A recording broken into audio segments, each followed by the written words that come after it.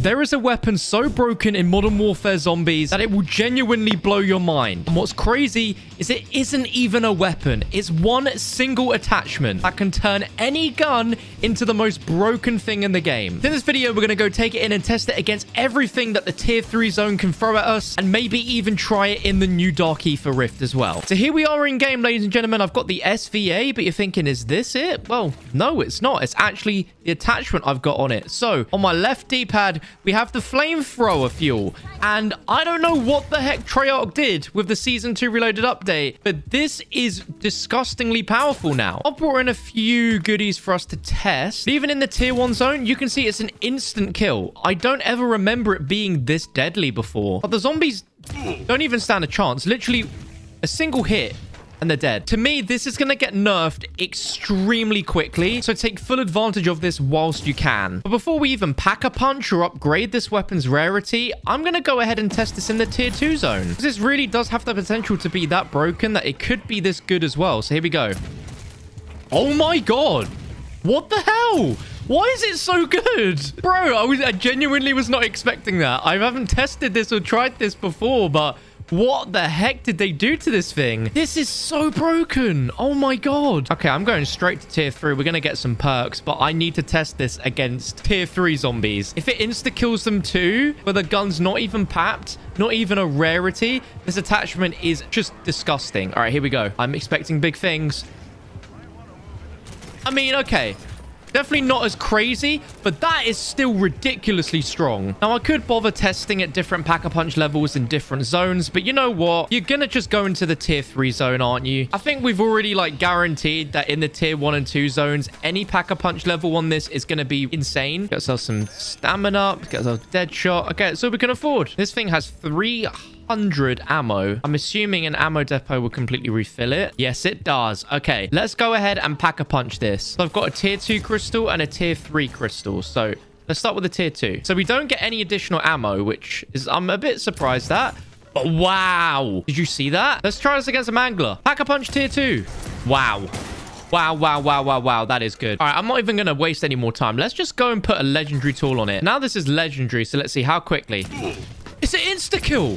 Oh my god. Jesus. This thing is so broke. I'm just going to hope and pray that zombies are going to drop ammo, which is going to actually contribute to refilling this thing. But let's go ahead and get a bounty. Now, we're testing this at Pack-a-Punch level 2 legendary, but I'm I'm assuming it's going to be even better at Pack-a-Punch level 3. Against dog zombies. Oh my god, this thing is disgusting. I mean, look at this. Everything that walks in front of me immediately dies. So yeah, the only downside is you can see that ammo that the zombies drop do not contribute to getting flamethrower back, which sucks. That is literally the only downside to this thing that I can see right now. So I'm going to go ahead and have to refill ammo. But my god, if you could put this on the crossbow, you are actually sorted. The crossbow and this is, is the two most broken things in this game. Okay, HVT time. How quickly is he going to die? Oh my god. My god. Bro, I am actually shocked. What the heck is going on with this thing? Okay, we've got a sigil from that, so we can at least test this in the uh, in the new Dark Aether as well. But what the heck is going on with this thing? I want to see this thing at its full potential, so we're going to just get it to PAP 3. I'm going to find a Mega Abomination. There we go. There's the PAP 3. I'm so shocked at how good this is. Dark Aether is going to be difficult, though, because there's not a lot of ammo uh, depots at all. I'm expecting some very big things against a Mega Abomination with this thing. I wonder if it would be good for Red Worm with how good this is. And the fact I've paired this as well with the SVA, which I think I'd put it up there as one of the best ARs in zombies as well. This is a solid, solid loadout. Okay, here we go against the Mimic.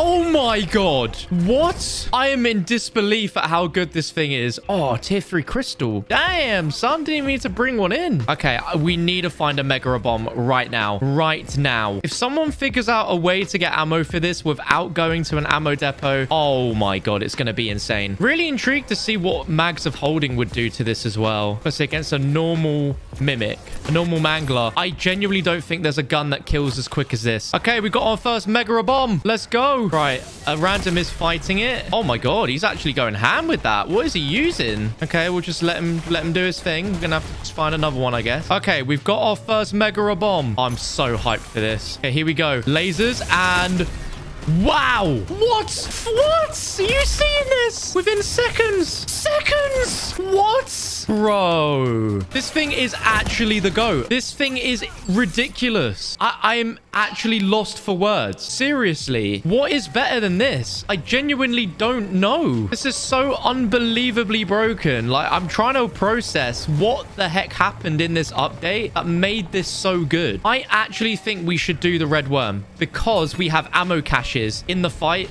so we can get the ammo back for the flamethrower extremely quick. Also, how fun would that be? In worst case, I've got a VR11 as well. So we are actually going to take the worm down very, very, very, very quick. Okay, how quick is he going to die?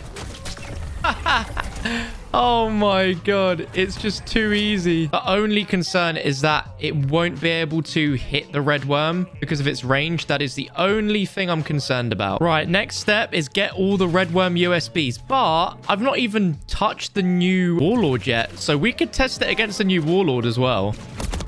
Oh, shoot. Okay, so it is awful against AI, but amazing against zombies. How does that make any sense? Man, without the golden armor plate, this is actually so rough. Ascending more. This is not itchy. Leave me alone. Oh, I think I'm actually wasting quite a bit of time here, so I'm going to just leave this and get the USBs because time is of the essence. I mentioned earlier about mags of holding. I actually have one, but I don't think it's going to make any difference to the attachment. No, it's on the attachment, but yeah, I don't think it's going to change the flamethrower because there was never a reload needed for it anyway. There's also a lot of perks that I'm missing. I really need to get some more perks. Right, there's our first USB. Here is our second USB. Here is our third. Right, here we go. I'm trying to get contract money. Oh my god. Literally just open one mount. Oh my god. And there is our fourth and final USB. All right, so here's how it's going to go down. I am very likely to try the worm. And if we can't take it down with a flamethrower, I'm going to run to the Dark Aether. I have a weird feeling that the flamethrower is not going to reach the worm, but I really want to try it. But not having golden armor plates, I'm going to die so easily. Looking at where the storm is to where the worm's going to be, I'm actually quite nervous about even attempting this because I couldn't hit Mega Bomb with the flamethrower from a fairly short distance. So I don't know if this is going to be viable or not. So I've done all this work for the worm, but I've just been told that, yeah, it is, it is absolutely pointless to even attempt the worm against the flamethrower because it doesn't hit it. So I reckon we take this in the dark aether instead. I'm disappointed just as much as you are because I did want to try, but I just don't think there's any point. A moment ago when I was taking that a bomb down and